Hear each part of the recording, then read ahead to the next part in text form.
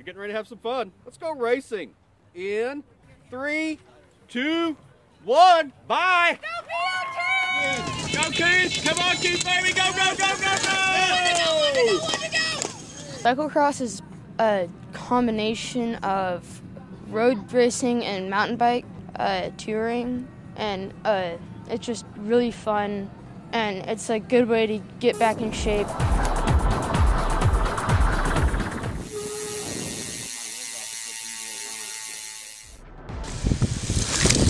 You know, it's something. It's it, it requires a lot more focus, I would say, than pr- pretty much every other type of uh, bike racing. Um, you know, there's so many there's so many different things skill-wise, and that, that you you know you can make probably a hundred different different kinds of mistakes every lap. So it's you got all these little things you got to try to focus on doing them right. And mm-hmm. meanwhile, it's you know it's hard. You're right there at your threshold the whole time. It's basically like doing a one-hour time trial.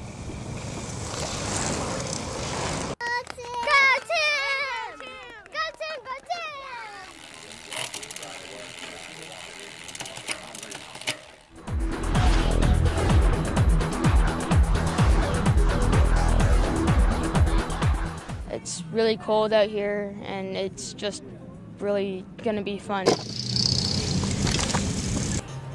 Uh, it's just a challenge to see if I can do it and complete the course and complete the race. My dad got me into it because uh, it was just he got me into road cycling, and then he got me my first mountain bike whenever I was about six, and I really wanted to go mountain biking whenever I got older.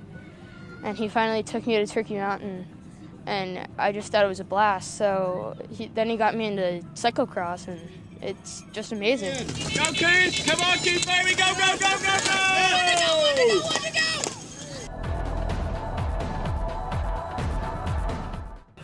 It's uh, pretty difficult. Probably one of the hardest uh, bike racing disciplines I think there is. It's really fun. Having suffering is really good for your legs, and it's just a heck of fun. Uh, I just, I don't know. I just love it. It's a little bit of a little pieces of every kind of racing I guess I've done on the bike, and it's you know, it takes some skill from each each kind of uh, possible bike racing, and just kind of incorporates it all into that. You know, plus it just toughens you up. You know.